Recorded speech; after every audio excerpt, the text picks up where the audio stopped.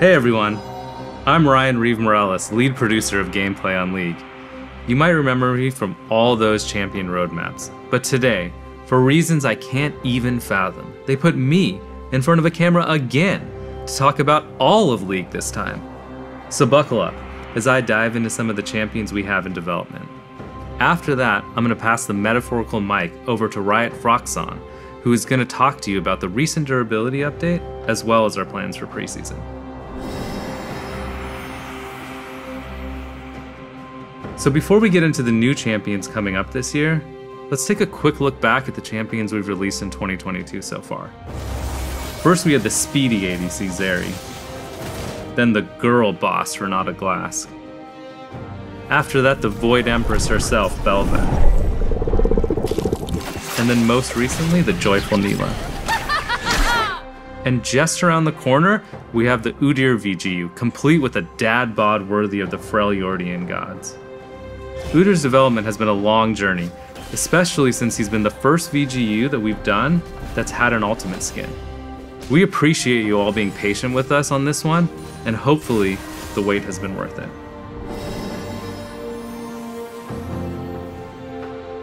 So in addition to the new champions we've released this year, we've also been shipping a lot of mid-scope updates to various champions, including Janna, Ahri, Swain, Taliyah, Olaf, and recently Sivir. Because we slowed down the release of new champions, we've had a bit more time to ship smaller updates to champions on the roster that have fallen behind the pack. So the goal of mid-scope updates isn't to reimagine a champion's visuals, theme, or gameplay. That's reserved for VGUs. Instead, we want to freshen up champions that aren't living up to the expectations of the players who love them. We try to strengthen their fantasy even more, rather than reinvent it. So for Swain, we pushed his fantasy of an unkillable frontline mage to the max. And for Ahri, we focused on her fantasy of a mobile mage rather than the assassin she had become. We saw really great responses to these projects as well as healthy play rate spikes after their release. Given all of this, we want to keep pursuing mid-scope updates, and we already have a few champions we're exploring, including Neeko and Syndra.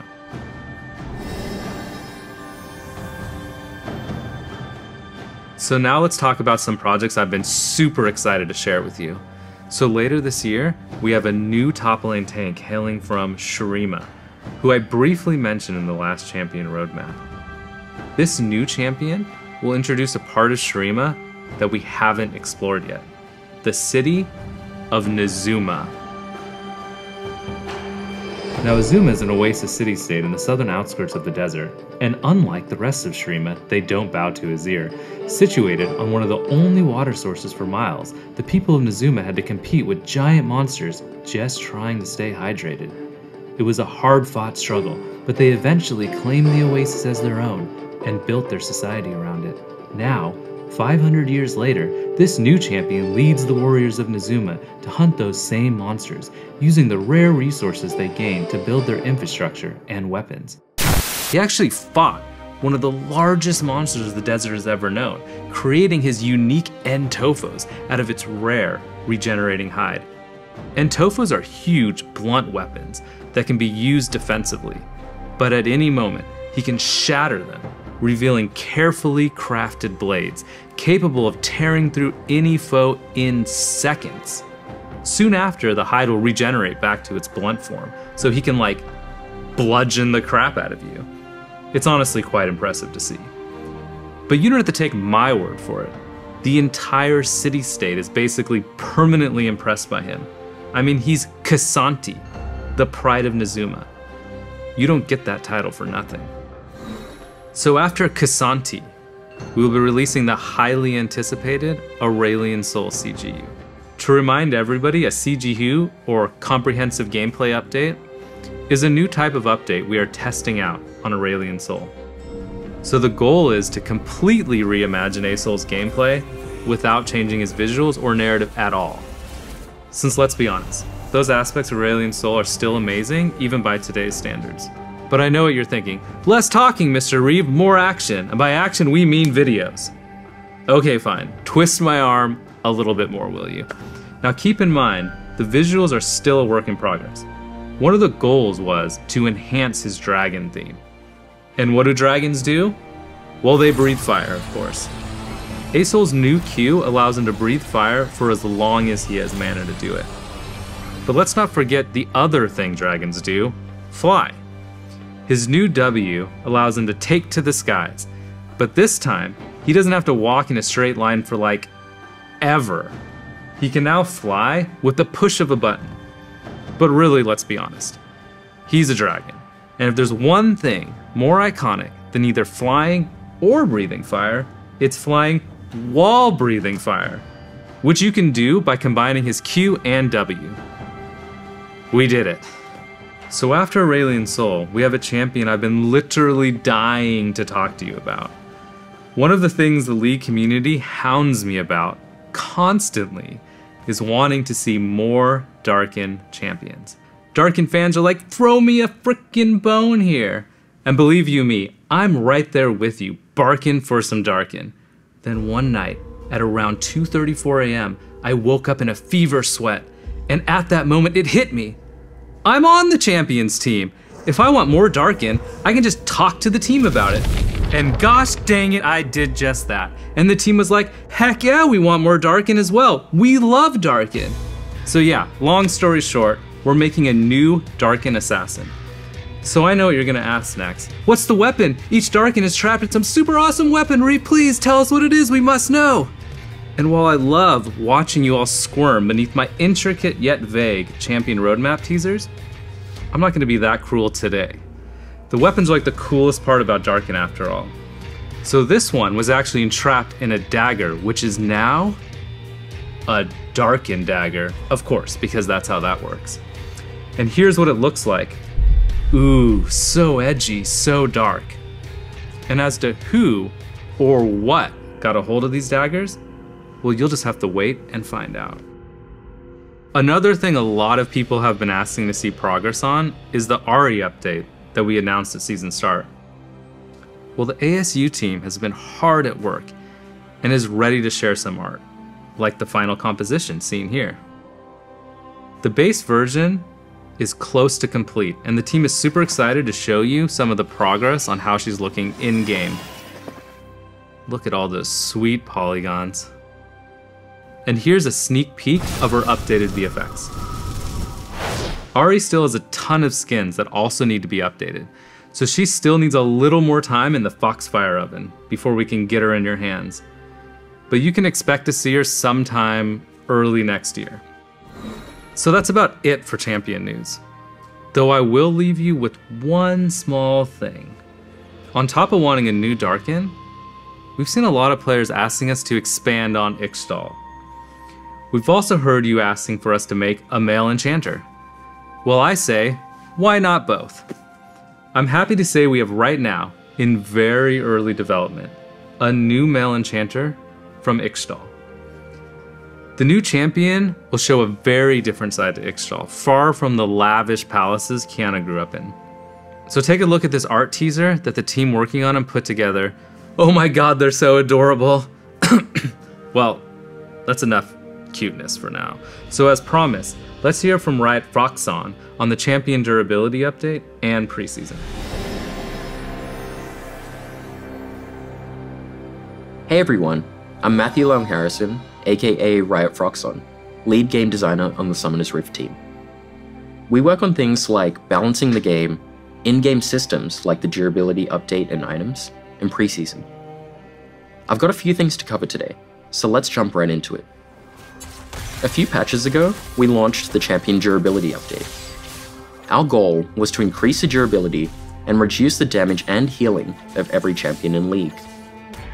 We've been closely monitoring the results, and after some targeted adjustments, we're really happy with where the update landed. A lot of you have mentioned how much you like the update, and that it feels good to have fights last longer with more chances for skill expression. And we're glad that it helped make League feel fresher. That said, we don't have plans to make changes of this size outside of preseason in the future, unless it's really necessary.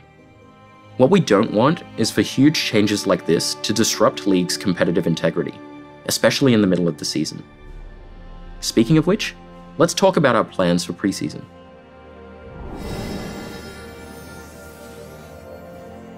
Similar to last year, we're making more targeted changes to various systems.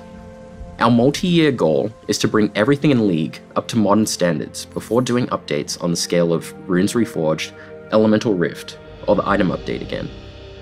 So for this preseason, we're updating systems including communication and vision, making the jungle more exciting and accessible, and bringing back a familiar foe.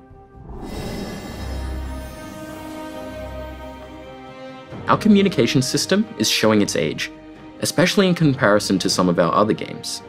So we're giving it some much needed attention with new features that'll make it easier to communicate with your team and walk away with the win. To that, we're expanding our in-game ping system to allow for better communication with your team. The current system only lets you share very basic communications. And while we appreciate your ingenuity with the limited pings you have, we wanted to give you more opportunity for clearer communication. The updated pings will include everything you already know and love, plus expanded vision options and a call to engage. We're also thinking about ways to emphasize pings with teammates, plan macro strategy for objectives, and keep track of where pings are on the map, even if they're off your screen. In addition to the changes to communication, we're making some small improvements to the vision system, as it's a bit outdated. It's not super clear that you can swap vision trinkets, and it's definitely not clear how you can best utilize them. To that, we're exploring ways to make vision trinkets more intuitive. You'll be able to see how many wards you have on the map, and preview where they'll go when placing them in walls.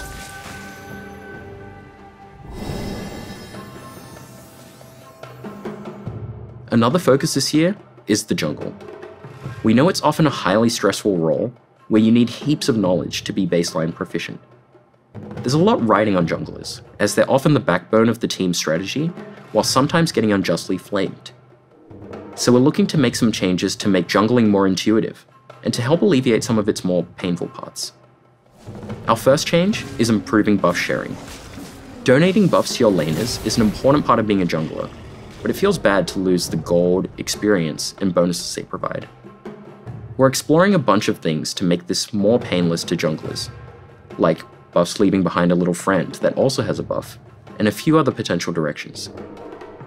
We're also looking at ways of improving jungle camp patience rules. The goal of this change is to make it so you don't get overly punished by accidentally pulling camps too far. You shouldn't have to know exactly what pixel to stand on to do red buff and raptors at the same time without one resetting. So we're making changes that will make it less punishing when that happens. We know some junglers like to hyper-optimize their clears, and we want that knowledge to be rewarded. We'll still keep unique, optimal clears for different champions, like Kayn starting Raptors and Shaco doing whatever it is he does. All this said, we're not trying to make mastering jungle easier, but we do want to make it easier to start jungling. We still want you to be rewarded for taking the time to master your role and champions. There are some other improvements we're exploring for the jungle, but it's still too early to share more, so we'll check back in later. The final preseason change we want to talk about today is the long-awaited return of everyone's favorite Drake, the Chemtech Drake. While we're bringing Chemtech Drake back from the dead, she won't bring you back from the dead anymore.